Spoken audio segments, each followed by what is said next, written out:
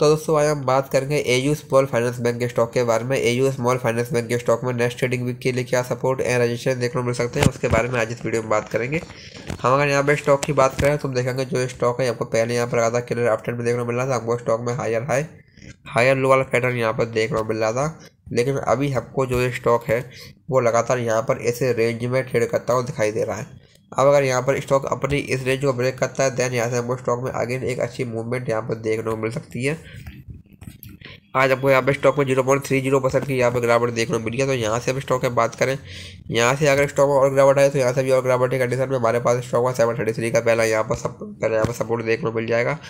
अगर स्टॉक इसको ब्रेक करेगा देन यहाँ से हमको स्टॉक का सेवन सिक्सटी इसके बाद हमको यहाँ पर स्टॉक में सिक्स नाइन्टी फोर देन यहाँ से आपको स्टॉक में सेवेंटी फोर तक के लेवल्स यहाँ पर देखने को मिल जाएँगे। एज ए नेक्स्ट आपको सपोर्ट में यहाँ से अब अगर स्टॉक में रिकवरी आती है तो यहाँ से रिकवरी कंडीशन में हमारे पास यहाँ पर स्टॉक सेवन फोर्टी का पहला यहाँ पर रजिस्टेंस देखने को मिलेगा।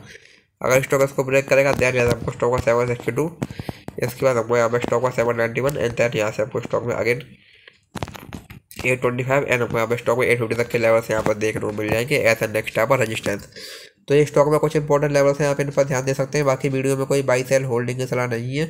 वीडियो केवल एजुकेशनल पर्पज़ के लिए है। धन्यवाद।